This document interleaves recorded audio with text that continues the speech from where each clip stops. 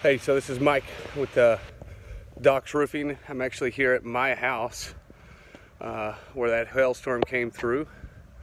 We uh, actually got our roof replaced back in uh, 2016.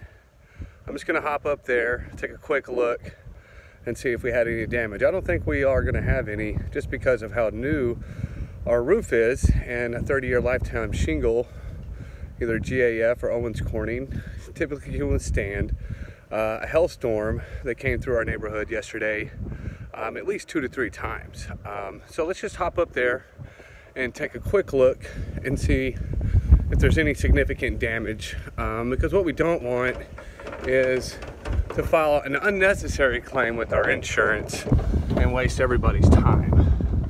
Um, so we're up here right now and I'm looking look at these shingles. What we're looking for is divots and dips, you know, and any significant kind of hits.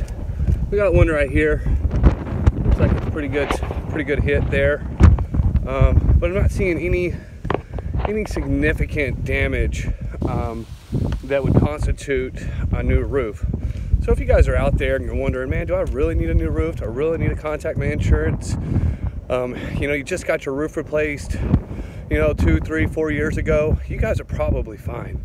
Um, but if you haven't, you know, you can always give us a shout uh, at Doc's Residential Roofing. Give us a call. We'll shoot you straight, fully transparent. I don't want to waste your time, and I definitely don't want to waste my time out here climbing around on these roofs. So we do want to get you taken care of.